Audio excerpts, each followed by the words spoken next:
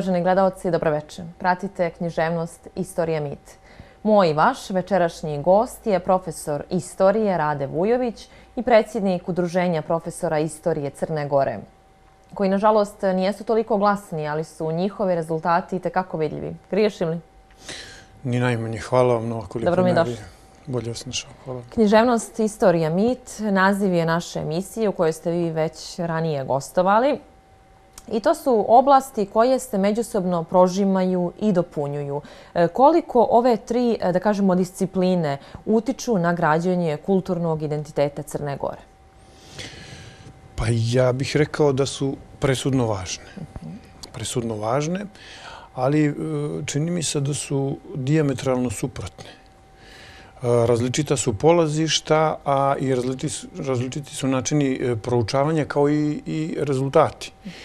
I e, lijepo je što smo emisiju otvorili o ovom temom, jer mi se čini da se nigdje kao na Balkanu, ne samo u Crnoj Gori, znači prosto ta balkanska društva, e, društva koja nije su baš e, tokom 19. stoljeća prošla sve te faze koje su naslijeđene iz doba prosvetiteljstva iz 18. stoljeća, ovaj, mi to vrlo brkamo.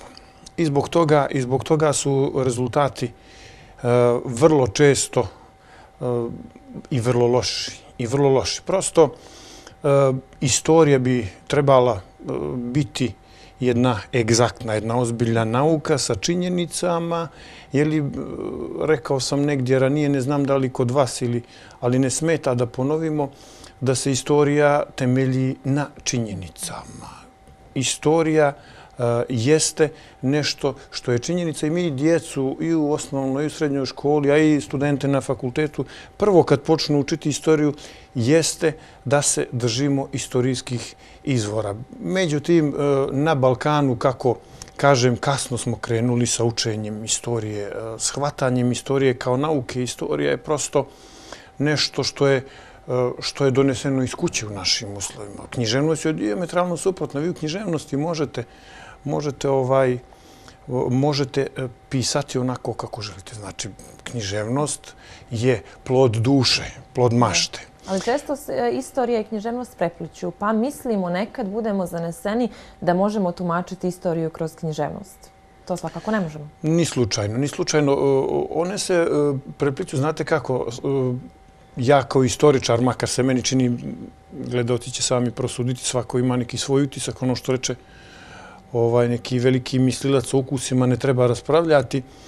E, često se e, istorijske činjenice e, koriste u istorijskim dijelima. Niko ljepše to nije uradio nego Andris na našim prostorima ili Lalić.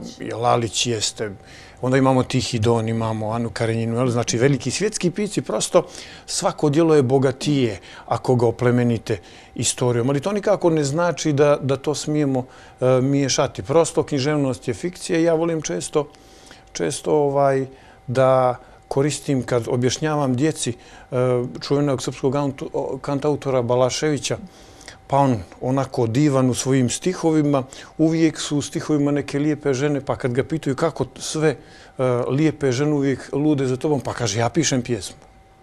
Razumijete? Znači, pjesma je njegova mašta. E, sa istorijom to ne smijemo raditi. Znači, e, u pjesmi ja mogu raditi šta hoću. Ona je plod moje fikcije, moje mašte. Međutim, ovdje je književnost. I ne samo književnost, evo sad smo se dotakli književnosti, ali e, kad govorimo i mitovima i legendama, Znači, mitovi legende su e, još opasniji od, od, od književnosti. Jer Mi mogu još u većoj mjeri možda da odrede jedno društvo i njegov put. Jesmo li mitomansko društvo ukoliko se u velikoj mjeri oslanjamo na mitove kroz našu istoriju? Pa ja bih rekao ne da mogu da odrede, nego su balkanska društva izvrstan primjer kako mitovi i legende potpuno prekriju istoriju istoriju jednog naroda. I čini mi se kako taj narod e, prilično osujete u njegovom napredovanju. Prosto iz pogrešnih činjenica, vi donošenjem pogrešnih zaključaka, ja? imate činjenice pa onda idete e, pogrešnim premisama, dođete do pogrešnih zaključaka i onda je vaša polazna osnova, vaš pogled na istoriju, vaš pogled na vašu proslost potpuno nerealan. Bilo da je pokušavate legendom i mitom uveličati ili umanjiti. E, nekakva je navika na Balkanu da je baš naša istorija najbolja. Pitate, pitajte bilo koji balkanski narod, on će vam reći on ima najveću istoriju na Balkanu. Pa se prepliću, pa, pa se objeđujemo. E, mi smo oni, oni su mi. Nikako da se, da se dogovorimo. U istoriji to potpuno jasno. Znači, istorija je tu potpuno jasna. Istorija je ovaj e, računica e, izračunala ko smo i što smo. Ali zašto istorija danas dozvoljava da svaka porodica crnogorska ima svoj model tumačenja istorijskih događaja? Te stoga mi nekada budemo u zabludi, baš ovo kako ste vi rekli, ko smo, šta smo, je li to naša istorija ili je to tuđa istorija, dolazi do preplitanja istorije balkanskih država? Znate kako, e, istorija je pogodna, pogodna za zlupotrebu i e, svako pokušava od istorije napraviti sluškinju za lične potrebe, za porodične potrebe, potrebe grada, potrebe države. Znači, mi prosto e, praveći nekakvu fikciju e, ličnu, želimo popraviti bilo sebe, bilo svoju istoriju. Vi imate strašne velikodržavne projekte, kao iz matematike, kad imate skupove koji se preklapaju. Znate, ono imate nekoliko skupova i prosto mi na Balkanu tako mali, mi imamo toliko od toga zajedničkog. I nikako da se uhvatimo toga zajedničkog, nego ako imamo zajednički skup sa Srbima, Hrvatima, Albancima, s kojima se... E, mi nikako da te e, zajedničke karakteristike registrujemo, nego želimo one druge iz onog zajedničkog dijela skupa izbrisati. Razumijete? I onda e, pogrešno tumačenje istorije je rezultiralo ratovima na Balkanu. Razumijete? E, prosto e, ratovi na Balkanu nisu posledica pravilnog tumačenja istorije, nego upravo tog preklapanja. Mi smo do tu i tu, iako nismo. Ili ovi drugi su do tu i tu. Znači, prosto, mi, mi se nismo uh, ubaštinili u nauci. Ubaštinili smo se u mitu. Uh, I zato je potrebno vrijeme. Proslo, prosto do prošlog stoljeća mi smo rasli na guslama na Balkanu. A znamo da su... I usmeno predanje je utemeljeno u našoj kulturi. Jeste, epska poezija i vi sad, ne znam imamo li vremena, ali vi bi sad milion primjera mogli naći. Imate, eh, imate mit, recimo, o Marku Kraljeviću kao velikom junaku. Da.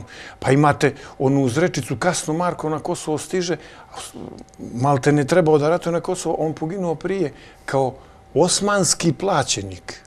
Znači, plaćeni kosmanske vojske. Dočim, evo sad ona književnost s početka priče, vi imate književnost kad čitate epske pjesme o Marku Kraljeviću, znači to je potpuno deseta priča. Znači, lijepo je čitati epsku poeziju lijepo je čitati eh, epove o Marku Kraljeviću, ali moramo e, razdvojiti istorijske činjenice. Znači, istorija je nauka. U umjetnosti ste slobodni. Slikar je slobodan da radi sa svojom slikom šta hoće. Pjesnik sa pjesmom, muzičar. Ali u nauci, Boga mi, trebalo bi cijeniti naučne činjenice i mišljenje naučnika. I čini mi se da su e, posebno ugrožena vrsta istoričari Ja kad me pitaju što predaješ, ja uvijek kažem najteži predmet, pa se malo začude kad kažem istoriju, jer meni čak i džak ima digresiju uh, na moju priču. Nastavnika matematike niko ne dira. 4, 4, 8, ide miran kući. Znate, ja što god kažem na času, na ulici, u autobusu, bilo gdje, uvijek neko ima nešto da pita ili da da, da, da svoje mišljenje. Znači, da e, negira možda postojanje tih činjenica koje su... Tako je, iz vrlo ličnih interesa. Znači, ličnih pojedinačno, ličnih... Pa da li to onda znači da su nam se politika i istorija nekako isprepletale? Zbog čega bi ove dvije oblasti koje e, ne bi smijele jedna od druge da zavise i istorija je mnogo iznad politike kada je u pitanju postojanje, trajanje, dokazivanje nekih tvrdnji, zbog čega se one danas prepliću? Da vam kažem nešto prosto je smiješno gledati, e, makar iz ugla mene kao istoričara i pretpostavljam i mojih kolega ovaj šta rade političari. Koliko je tu elementarnog neznanja, koliko je zloupotrebi istorije, a rekao bih, iz, ako nije sam previše grubi, izvinite me na izrazu, i nepristojnosti. Pazite, uh, zamislite da ja sad vas učim vašem poslu. Da li se ja kao istoričar miješam političarima prilikom donošenja nekog zakona, razumijete? Oni bi trebalo da rade svoj posao. Valjda bi Eh, svaka struka trebala da radi svoj posao. Ja znam da imaju istoričari mana. Stalno govorim i stalno u, u svom udruženju koje vodim već evo drugi mandat insistiram da se istoričari eh, ne eh, bave lično religijom, politikom. Stalno govorim da su istoričari ono što su me na zapadu naučili duhovno plenstvo, više sam dosadan koliko ponavljam tu sentencu, ako ćete da ste duhovno plenstvo, vi ste iznad političara, vi ste izvan društva. Naši su istoričari, nažalost, ili istoričari pozicije ili opozicije, ili ove ili one religije, a onda vi ne možete donijeti, e, znači, i istoričari su dijelimično krivi, ali toliko miješanje u nauku. Zamislite da ja sad učim jednog hirurga kako će da operiš. Ja pojma nemam. Znači, ja kad idem uh, u autoservis kod majstora, ja ostavim auto i ćutim i slušam što mi taj majstor kaže, računajući da on zna svoj posao. Valjda bi bilo pristojno prvo od strane političari, jer političari, oni hoće, oni hoće svoja stada, hoće svoje ograde, razumijete? Oni pričaju o, o istoriji ne sa željom da istoriju protumače, rastumače i da dođu do činjenica, nego da ubijede i to je djelimično opravdano. To rade e, sve religije. Od kad je svijeta i vijeka, šta vam kaže ovaj e, sveštenik? Vi ste moje stado. Svako hoće svoje stado. I sveštenici jedne i druge religije. Hrišćanstvo se pocijepalo zbog stada. Papa je prokleo patrijarha i obratno. Trebalo je nas varvare pokrstiti. Mi varvari kad postanemo hrišćani, jer Nije, sad smo veliki hrišćani, do prije 1500 godina nismo ni bili, mi smo Sloveni bili mnogobošci, znači, to, toga se niko ne sjeća, a sad smo spremni da radimo svašta jedni drugima zbog religije, razumijete, a do skoro nismo to ni bili. Jel? Uh, u stvari vidite koliko je neznanje. Znači, kad budemo u stvari uh, vodili računa o tome da se niko nikome ne miješe u posao, da svako radi svoj posao od onog majstora sa nekom e, strukom do akademika, onda ćemo bi, mi biti srećnije društvo, jer istorija nije tu, pazite, ja moju djecu naučim, ako hoće da nauče, da istorija jeste učiteljica života i mi učimo prošlost i ružne i lijepe stvari. Istorija nije tu da vam se svidi. Da. Mi na Balkanu pravimo istoriju samo lijepom. Naša istorija mučna i premučna. Ali u Crnoj Gori i dalje postoji e, to utvrđeno mišljenje i osjećaj za herojsku, slavnu, istorijsku prošlost. Jesu li Crnogorci zarobljeni, zarobljenici zapravo te prošlosti danas? Pa ne bi ja savremenom društvu. Ne bih rekao da su Crnogorci, rekao bih da su svi narodi svijeta manje više, a posebno mali narodi. Prosto vi morate, uh, uh, vidite kad, kad govorite o, o Crnogorcu 19. stoljeća, on najbolju hranu uh, čuva za reprezentaciju, za gosta. Da taj gost pomisli kako je ona naša vrlo skromna kuća, bogatija. Pogledajte, mi da na, pogledajte automobile na našim ulicama. Vrlo se teško živi e, naši imidži, naša garderoba govori o tome. Stranci to primjećuju. Ja puno, puno radim vani i puno imam gostiju ovdje. Oni ne mogu da vjeruju da je ovdje kriza. Jer mi ne bi sve, mi sve okrećemo uh, izložbi. Razumijete, to je potreba malih naroda da, da se prvo sebi, onda i drugima učine velikim. Prosto svi narodi imaju dobre i loše strane. I e, kad govorite o lošim stranama bilo kojeg naroda, onda vas nekako ovdje doživljavaju ne kao naučnika, nego kao protivnika. Da. Vi ne volite svoj narod. Znate, recimo, ako ste uh, o, ovim ekstremnim hrišćanima, ako kažete da je pljevlja, odnosno ta sliđa, ili bilo polje, odnosno Akovo, duže bio u Osmanskom carstvu nego u ovim našim državama, onda kaže, e, ti više voliš ove druge. Ma ne volim ih više, nego su to istorijske činjenice.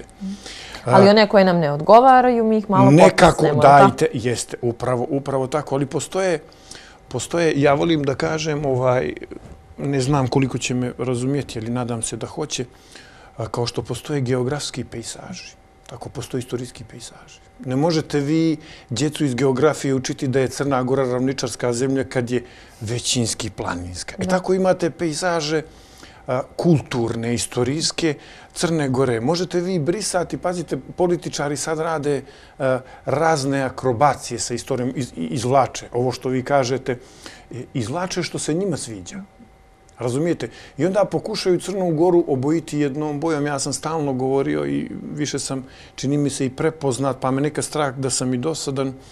da je Crna Gora rajska bašta, rajska bašta gdje se mišaju civilizacije. Od 395. kad je Teodosije podijelio Rimsko carstvo, baš ovuda krenula je ta granica istočnog i zapadnog carstva. Kasnije ovaj dolaze Osmanlije i svi oni boje svojim bojama, mlečani kasnije. Kad Ali pravo je u tome ljepota, u toj raznolikosti ljepota Crne Gore. E pa jeste ako, ako znate kako.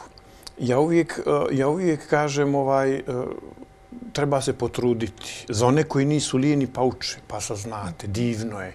Ali e, vi ne možete činjenici, pogledajte koliko naroda sluša primitivnu muziku i gleda ove emisije koje neću ni imenovati na nekim televizijama koje su dno dna. Jel? E, I vi im kažete, imate jedan život. Imamo jedan život. A zašto taj život ne, u svoj život ne unijeti Dostojevskog kad govorimo o književnosti? Zašto ne najbolje? Zašto ne Mozarta, Beethovena? Nismo svi spremni. Razumijete? E, ne možete vi, e, Dostojevski je težak, da biste uživali u najvećim ljepotama muzike, književnosti, mitologije, istorije, vi morate doseći neke visine. Je li za neobrazovanog čovjeka to je teško, naporno? Je li čitati Andrića, znate, e, on vas diže u visine nebeske. Ali samo ako ga razumijete, znate, da biste čitali Andrića, morate znati istoriju, mitologiju, morate, morate, morate sebe obogatiti. E, ako ste vi spremni, e onda ste vi spremni da gledate Crnu Goru. A ako ne, onda je bojite ovim pejzažima, znate, koji nije su Crna Gora, znači jedna Ali onda imamo dvije, e, dvije strane istorije. Ako tako posmatramo i ako e, tumačimo istoričara onako kako smo rekli da se priklanjaju ili poziciji ili opoziciji, nažalost, onda mi imamo dvije strane istorije. Pa je li na nama da biramo ili da i dalje istražujemo? Kako da se postavimo prema tome? Ne, e, da nas živimo u jednom sjajnom vremenu informatike kad, e, znate što, prvo što kažem djeci, kad, kad e, držim časove, ako je neka škakljiva tema, a oni postavljaju pitanje, samo ih vratim na šesti razred ili prvi, zavisi gdje radite, ili na prvu godinu fakulteta, studente. Ovaj, da? Što smo rekli u onim prvim lekcijama? Istorija je isto što i matematika. Jedan, jedan mora biti dva. Ne vjerujte čak ni meni. Ali nemojte, molim vas, vjerovati komši, tati, djedu, bilo kome.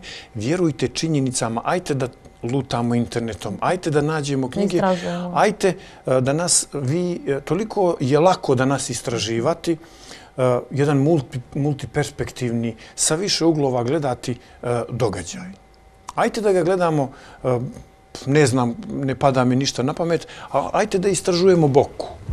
Da. istražujemo boku, jer evo sad kažu boka je ovakva, boka je onakva, boka je najviše mediteranski krug. I u Crnoj Gori će vam pripadnici e, većine najređe reći da je, crna, da je boka mediteranska, da liči na Veneciju. Evo da krenemo, da vas ne opterećujem predivnom književnošću boke koja je koja je dostigla evropske vrhove. Tri pokokolja, jedna, jedna barokna veličina koja se ne bi postiđela nijedna crkva, kamo li gospa oškrpjela, naša mala crkva sakrivena koju ne obilazimo ni mi, jeli, više obilaze stranci nego drugi. Možete staviti te slike u Santa Maria della Salute u Veneciju, jednu od najljepših baroknih crkava na svijetu, da nema mane. Međutim, Boka je za nas više crnogorska, Boka je više srpska, Boka, razumijete? A to su oni kulturni pejzaži o kojima sam govorio, koji malo poznaje romaniku, gotiku, barok. E, ljudi od kulture kad dođu u Boku, oni su to prepoznali. To je taj mediteranski krug. I to je to bogatstvo Crne Gore što vi prepoznajete kad idete od severa prema Ulcinju i Baru preko Podgorice. Tu je već ona osmanska, tu su osmanlije u Vakufi uh, e, arapska riječ, puno se oslanjamo na turske, vakif je ovaj, turski, znači nije sve ni turske riječi. Ali i, i prosto uh, oni su obojili ove naše prostore. Pa naravno imate ovo istočno hrišćanstvo koje se miješa, odnosno pravoslavlje, znači prosto to su miješane civilizacije i da biste sve to mogli da obuhvatite, vi se prvo morate upoznati Ne možete poznavati Boku ako ne znate ništa o baroku, romanici i gotici prije toga, ako ne znate o humanizmu i renesansi. Ako znate, vi ćete prepoznati to kao što to prepoznate u Dalmaciji ili u Francuskoj, jer to je taj kulturni krug. Ja? Ali nigdje, pazite, ja nisam čuo uh, od mnogo obrazovnih i pametnih ljudi od mene u Crnoj Gori. da je, e, da je iko prepoznao ono što ja uh, pričam djeci, niđe na Mediteranu nemate toliko miješanje i upliv. Vi imate južni Mediteran, te arapske zemlje. Maroko, Libije, Egipat, uglavnom dominaciju Arabljana i dominaciju Islama i taj kulturni krug. Imate na zapadu e, Španija, Portugalija, još se tu osjećaju Arabljani i katoličanstvo, Italija i, i Francuska, najveći dio Španije, uglavnom i tu dominantno katoličanstvo. Crna Gora je jedina zemlja, opet Hrvatska, naša bliska, ovaj, jel, Eh, i slovenska, ali ovaj zemlja, eh, opet uglavnom samo katoličanstvo. Ovdje se tako miješaju, eh, tako miješaju islam, katoličanstvo i pravoslavlje. A onda i ti kulturni krugovi, jer znamo da je u srednjem viku religija kultura. Ja? I, onda, I onda te ostatke imate, imate ovamo sat kule, te vakufe. Jeli, to sam htio da kažem, mi se nijesmo upoznali u Crnoj Gori. Nijesmo se ubaštinili. Mi generalno ne, ne poznajemo Crnu Goru. Mi hoćemo da je jedno. A imamo li e, ideju o tome koliko je važno predstaviti sve naše prirodne ljepote onima koji je posjete? Jesmo li mi to na pravi način iskoristili? Vi pominjete Veneciju, pozivate se e, na taj primjer koji zaista nama se možda sada čini toliko daleko, ali možemo li mi negdje slijediti taj model? Imamo li potencijale za to? Pa, znate kako, ja mislim, e, ne možemo mi biti Venecija. Venecija je domovina Serenisima, kako oni kažu, presvijetla. Svaki ozbiljan vodič, kao mlad čovjek sam radio taj posao i u Veneciji, širom Evrope. I to sam naučio od venecijanskih vodiča. Kad dođete u Veneciju, oni kažu dobrodošli u Veneciju, sve okolo je ostatak svijeta. Neskromni, ali kad uđete u Veneciju, vrlo osnovano, vrlo osnovano, prosto eh, neopisivo, neopisivo šta je Venecija. U Veneciji je rođen novi svijet, humanizam i renesansa, Firenca, Venecija. E, to je ono što nama hvali. Ja mislim da, da smo mi eh, na neki način ljepši od Venecije geografski, e, šareni smo, e, šareni smo kulturno, jer Venecija je dominantno katolicizam i imate predivnu crkvu Svetog Marka, jeli, sa elementima pravoslavlja. Venecijanci su otimali rušeći Vizantiju, kad su joj preotimali ono prvo mjesto u trgovini, ugledali su se na Vizantiju jeli, i stubovi freske, mnogo toga na crkvi Svetog Marka su iz Vizantije. Znači, nije im smetalo da ono što su smatrali bolje. Nije, nije smetalo, znači, oni su, oni su čak svog velikog sveca. Svi veliki gradovi imaju velike zaštitnike. Jel? Pa, pošto nisu imali zaštitnika, iz Afrike su oteli Svetog Marka, drugačije zovu Republika Svetog Marka, da bi imali velikog zaštitnika, da bi bili veliki veliki grad. E što su oni sad uradili? Pretvorili su svoj grad u muzej. Pretvorili su svoj grad u muzej na otvorenom i vi sad, uh, sjećam se, to mi uvijek bilo čudno i volio sam to da objašnjavam našim ljudima kad ih šetam po Veneciji, zašto je kafa na trgu Svetog Marka 12 eura. Nije kafa, nego mjesto, pijete na najvažnijem mjestu na svijetu kafu. Kafa je možda čak i gora od ove naše u bilo kojem kafiću. Ali vi tu sjedite, sjedite u centru svijeta, mjestu gdje je rođen humanizam i renesansa.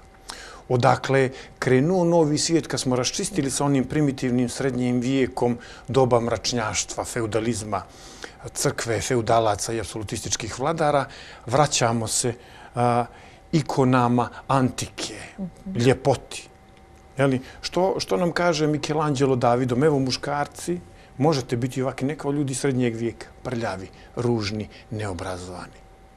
Idealno muško tijelo Davidovo koje se čuva u Firenci, ali morate paziti što jedete, što mislite, morate dobro misliti. Jeli, ono što mi danas učimo, što jesti, što piti, što učiti, znači ljepota se mora, to mi učimo djecu. E to, to, je, to je poenta istorije, nego ne znam, skačem li ste me na temu, ovaj, poenta istorije da svi možete biti odlični, lijepi i pametni, ali morate raditi. Naravno. Možete uživati u Mozartu, ali morate se popeti na tu visinu da razumijete. E, a, znači Crna Gora, da se vratim na Crnu Goru u odnosu na Veneciju, nudi tri kulture, nudi tri, Venecija vam nudi jednu sa najljepšim primjesama Vizantije.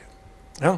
A Crna Gora nudi tri, ali mi nijesmo kažem, mi se nijesmo ubaštinili. Pogledajte, svi se udaramo, držimo ruku na srce kad govorimo o Crnoj Gori. Ja bih više volio od ruke na srce da smo za zadnjih 70 godina od drugog svjetskog rata obnovili žabljak Crnojevića. Nam, mi prijestonicu Crnojevića držimo u najgore mogućem stanju. Kako to da imamo za ovolike zgrade, za, ovo, za ovolika službena vozila, za ovolike službene puteve, projekte? Svi smo u nekim projektima. Svi smo u nečemu, a prijestoni grad Crne Gore žabljak stoji tu kako stoji. Kuća bilo koji bogati čovjek u Crnoj Gori, jer mi u Crnoj Gori nijesmo prebogati, ali ovi naši ljudi od novca, je li moguće da niko se ne nađe da pokrije kuću Svetog Petra na jezeru, to je, to je neka hiljada eura. Ja? Znači, uh, jedan od najvažgi, najvažnijih svjetskih događaja je pronalazak štamparije. A vi ste u centru svijeta kad se pojavljuje štamparija. Jedna od prvih nekoliko na planeti je prva državna štamparija da je to kojim slučajem u Italiji to bi, bio, to bi bilo mjesto od svjetske atrakcije, jer oni to umiju. Oni su ljudi od kulture, oni čak e, dodaju pomalo, uveličaju. Znači, istorija je lijepa ako, je, ako dodajete na kulturu, razumijete, mi e, ne da ne dodajemo, Oduzimamo nego ne je... Ja bih, ako mi dozvolite, Izvolite. volio da pohvalim jedan potez koji se dešava ove i prošle godine u Podgorici. Eh, vrlo sam grubi, vrlo sam strok, prema djeti sam vrlo blag. Ako me gledaju roditelji, ja sam dječji sluga, zbog toga sam i tamo, ali sam prema političarima i prema ljudima koji ne vode računa o ovom našem blagu vrlo, vrlo. Pa bih htio jedan lijepi primjer ovaj, ja sam se legitimisao, politički sam nezavistan, ne pripadam nigdje, znači ne želim nikoga da hvalim zbog politike.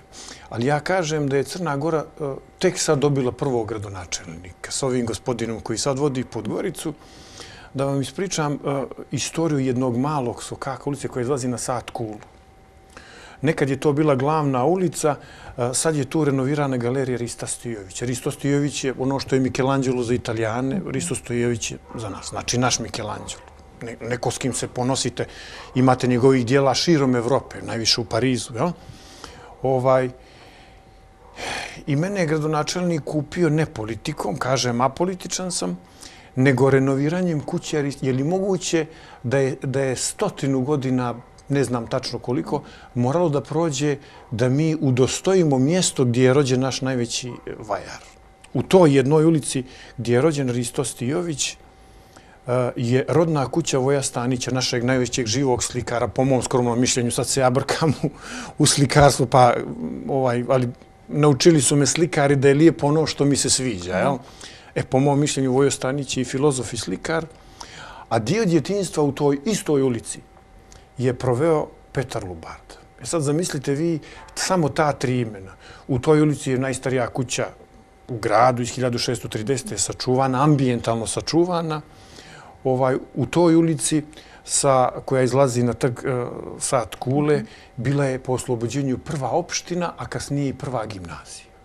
Znači da tu ulicu stavite u Veneciji, da je stavite u Parizu, ne biste se postiđali ta je ulica čekala ovoga gradonačelnika da se sjeti i ja mu se zahvaljujem i kao stanovnik te ulice, ali prije kao čovjek od struke. Jer znam da Veneciju ne čini Venecijom, Eh, vi imate Veneciju stari grad i tu dolaze milioni. A imate novi grad, ovo što je nama stari aerodrom Delta City i tako dalje. Stari aerodrom Delta City, eh, svo preko Morača ima manje istorije nego ta jedna ulica. I nisam ja protiv toga da se grade nova naselja. Ali to su spavaonice, one ne znače ništa. U Veneciji čitavi novi grad koji ima otprilike 200 i kusur hiljada stanovnika, zove se Mestre, ne znači ništa. Ja sam stotinama puta bio u Veneciji, u Mester sam bio dva puta i to slučajno, morao sam nekim turistima nešto da završim.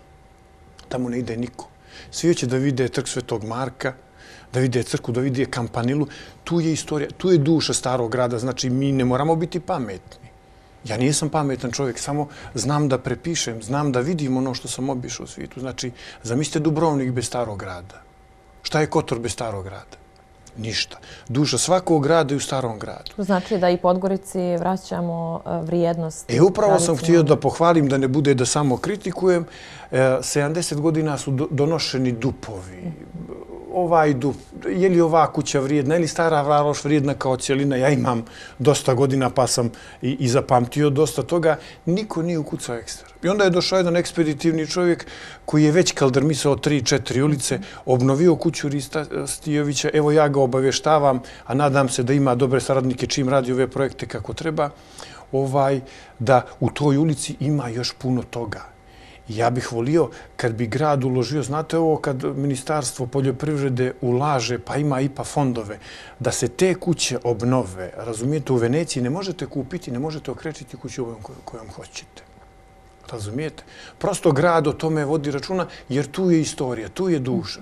I kažem, više vrijedi ta ulica e, istorijski i kulturološki nego sve ovo s ove strane morače. S tim što, naravno, Ja sve poštujem. Moramo imati ispavonice, moramo imati udobne kuće, e, ali to je naša lična ovaj, karta. E, ovaj povratak opet duhovnim vrijednostima, kulturološkim vrijednostima Crne Gore o kojima govorite? Šta to znači za našu istoriju? Za pa znate što, mi, uh, vi ne postojite ako to nemate.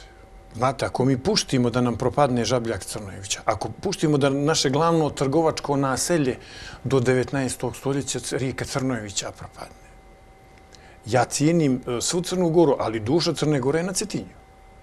Crne Gore. Ali pazite, i ovo stalo ima svoje velike vrijednosti. Cetinje se u kulturološkom smislu, u vrednostnom smislu ne može uporediti sa Kotorom. To je već onaj mediteran, to je onaj humanizam renesansa. Nemate vi na Cetinju mnogo, razumijete, znači, ali imate dušu crnogorsku. Razumijete?